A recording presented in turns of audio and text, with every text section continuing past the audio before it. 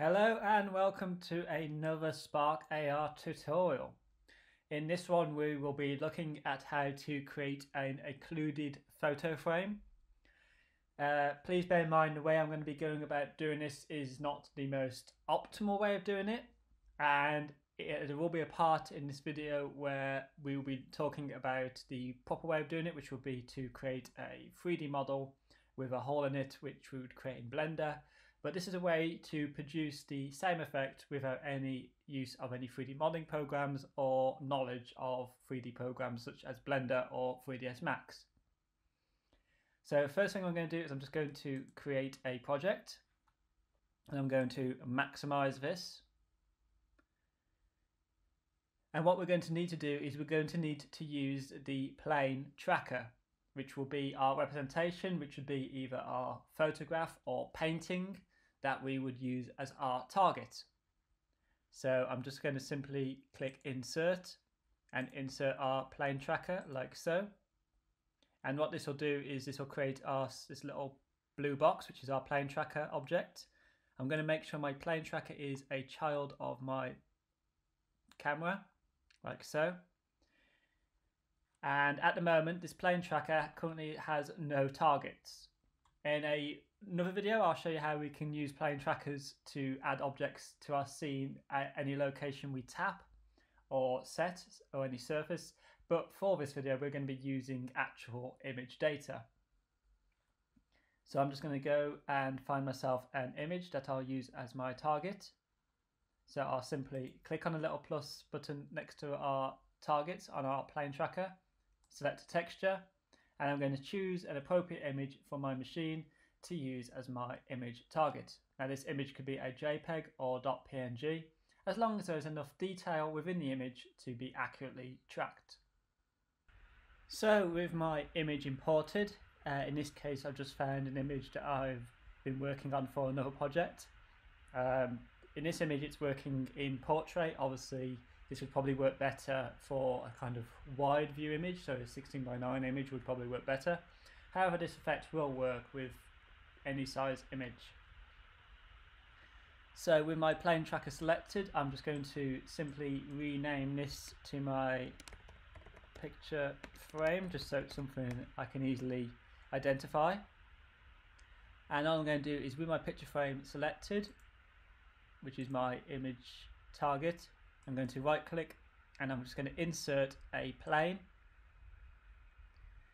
I'm going to drag my plane forwards just a tiny bit, so like 0 0.4, 0 0.5 kind of uh, mark it.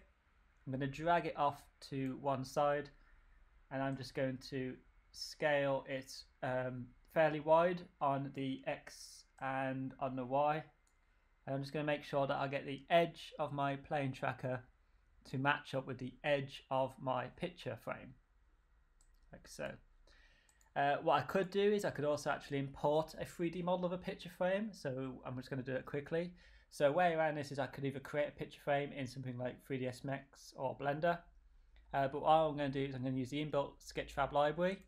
I'm just going to search for a picture frame. Let's just type in a picture frame in here.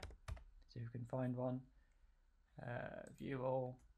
And I'm just going to use a simple wooden picture frame that I've just found online and import that into my project.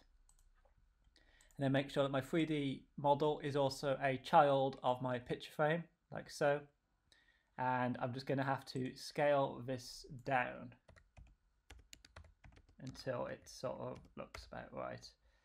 So I'm just going to scale this considerably more than I currently have.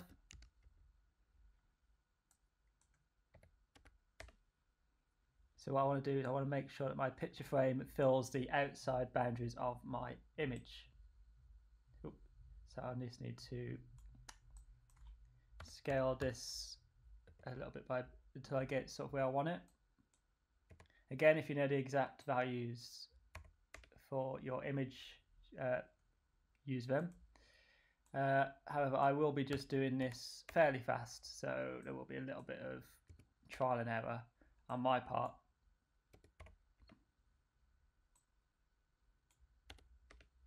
Until I sort of get it where I want it to be. So that will do for me. Again, ideally I'd want to make this in something like 3ds Max or Blender. But all I'm trying to do is just create a little frame to cover my image around the edges so it can mask where my plane occlusion areas will be.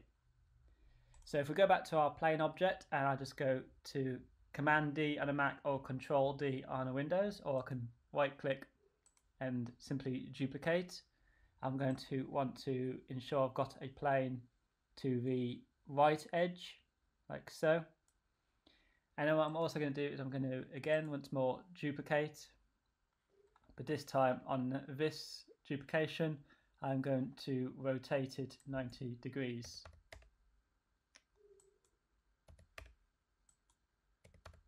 On the z-axis. And I'm just going to bring this to my topmost edge of my frame. Like so.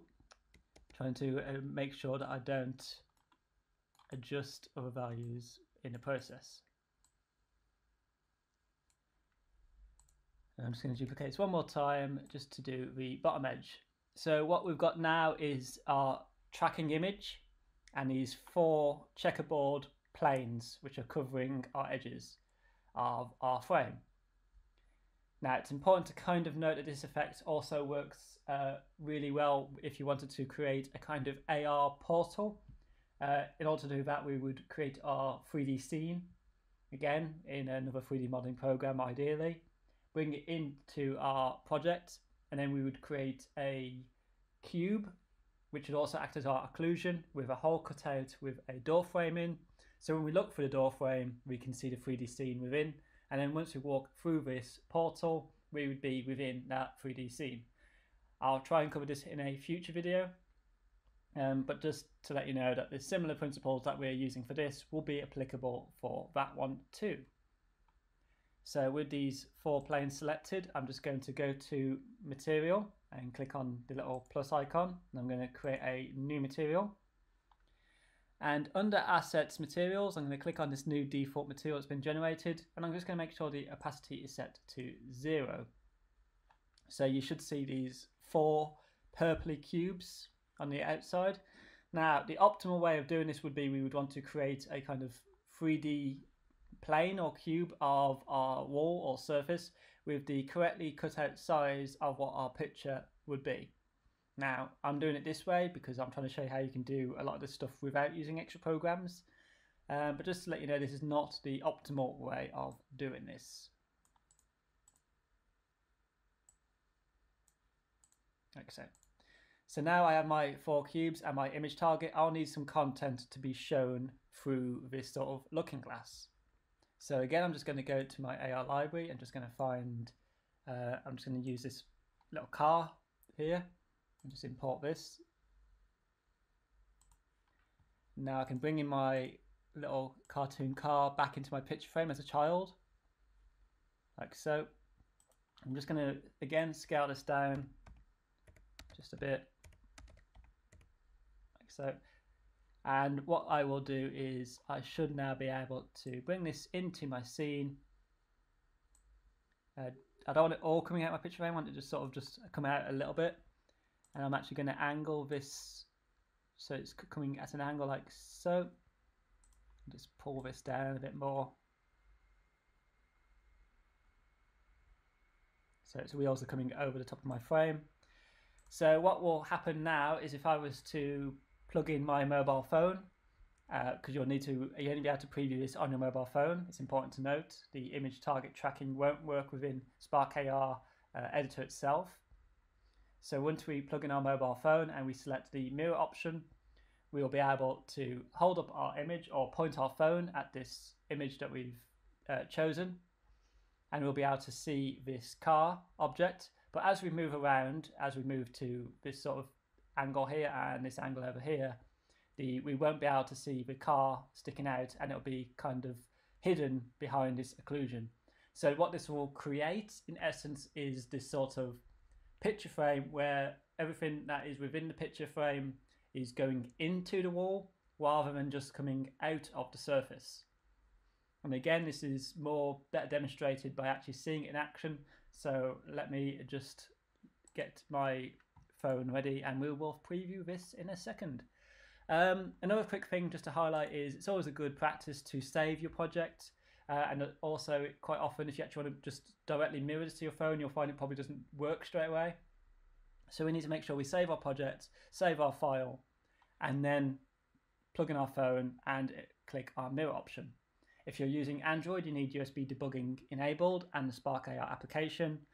And if you're using a Mac system, you'll need the Android file transfer application on your Mac. If you're using iOS, all you need is the Spark AR player application on your phone and your um, your Mac will uh, should come up with an option to allow it permission to connect and transfer files for the purposes of testing. So with my mobile phone now connected to my Spark AR player, I now just simply need to make sure my phone is set to allow. And I should be able to now click on the mirror icon up at the top, which will now compress my file project onto my phone and should open up my Spark AR Player application on my phone so that now when I point my phone at the desired image, it should start augmenting. So as I now point my mobile phone at the AR target, you notice that the occlusion panels, which are our materials that are set to zero transparency, mean that when we look at the picture from angles from about 45 degrees to near on 70 odd degrees, uh, that the car should now not sort of appear behind the back of the frame and should give the illusion of the object actually going into the picture frame, but also in this case popping out of the frame. Like I said before, the optimal way of doing this is we'd want to create a 3D model of the surface of where our image would be, with the hole cut out to be where our picture tracking would commence. If I wanted to, to remove the original image that's been tracked completely, what I would probably do is I would build a cube that goes behind the back of the occlusion panels uh, with a sort of texture within the inside of this cube with one side cut off this one side being masked by our hole and our panels. And this would allow me to create a kind of semi-looking city within a picture frame kind of effect. And we'll look at that in a future video when we, we cover this again and we look into the more advanced stuff that we can do with occlusion panels and occlusion textures in general. So I hope this has been of some use to you guys. If you have any comments or queries, please leave them below and do not forget to like and subscribe if this video has been of some use to you. Thank you for watching.